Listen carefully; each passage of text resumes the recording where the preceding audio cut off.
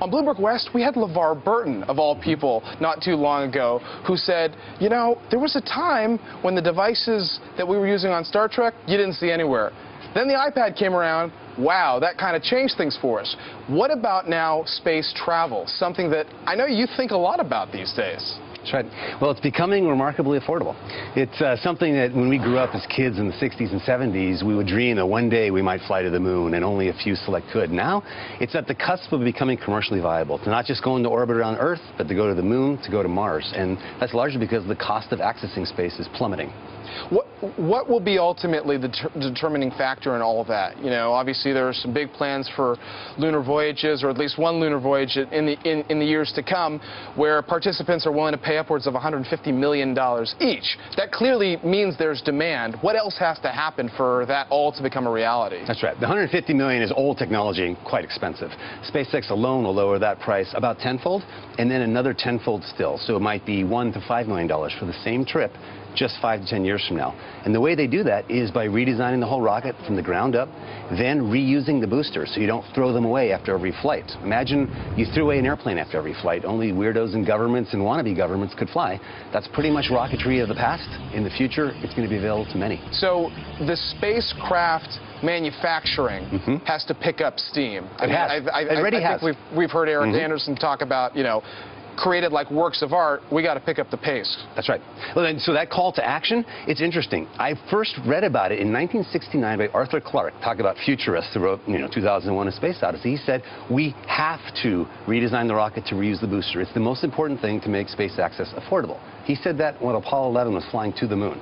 Today, SpaceX is finally doing it. It's the only company that is trying to make the booster reusable. Well, and, you know, talk about futurists. I think a lot of people would put Elon Musk in that camp. What did you see in Elon in the beginning when he started talking about SpaceX? Well, we knew Elon from when he first came to California. We pitched us on his first business, and then we spoke to him about his second business. We invested in his cousins twice. We invested in him three times. So we love the family. Um, by the time we got to talking about SpaceX, which wasn't his first startup, um, we already knew that he was a remarkable person, an incredible entrepreneur, unlike any other, perhaps on this planet, to be able to revolutionize many different industries in a way that everyone else has failed to do. So when he was pitching SpaceX, we saw the spark in his eye, the passion he had to colonize Mars to actually become a spacefaring species. You don't hear that from most entrepreneurs who just try to change the world. He's thinking, let's change other worlds as well. What has all this, the, the, the investments, mm -hmm. where SpaceX is now, what has it taught you about where the space business is going? Yeah, well, there's a lot of change. Um, in the past, the space business was largely governmental activity and a jobs program. How can we take something like the space shuttle and divvy it up across many states to create many different kinds of jobs that can roll up into a political ball that costs billions of dollars per launch?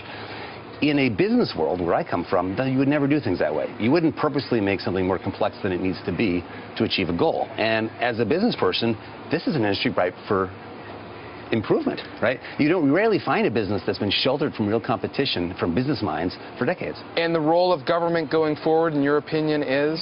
I think perhaps to set, and this is just a personal opinion, yeah. to set the exploration agenda. If you think about what NASA really does best and what we think of it as, it's the, it's the organization that says, well, let's do things that may not have an immediate commercial payoff, but are incredible feats of human engineering to explore the solar system, to understand the world we live in, that may one day percolate into a business, but sort of push the frontiers, of the final final frontier, if you will.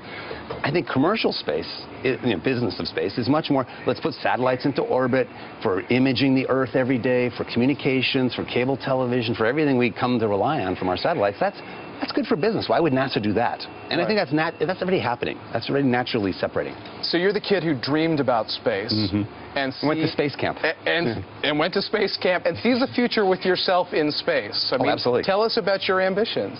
Well, I am going to wait about five years because I know it's going to get cheaper and safer by waiting. It's not as if you had to get on that bandwagon on Apollo and if you missed it, you know, you wait 20 years before someone's flying again. Here, it's just going to get better and better. And what I want to wait to do is fly uh, first around the Earth um, as a tourist, taking photos to be able to just see and absorb in a Zen-like moment the beauty of our Earth, which, by the way, flying around the Earth will cost less than flying a private plane around the Earth. No question. That is absolutely for sure. Then, slightly more expensive, uh, to go around the moon and to fly very low, maybe 5,000 feet off the top of the surface, because there's no atmosphere. You can be in orbit around the moon, very close to it, and just go on a spacewalk like Superman for hours. right? Don't land because then you'll be stuck in one small area. See the whole moon. Spend a few days there and come home.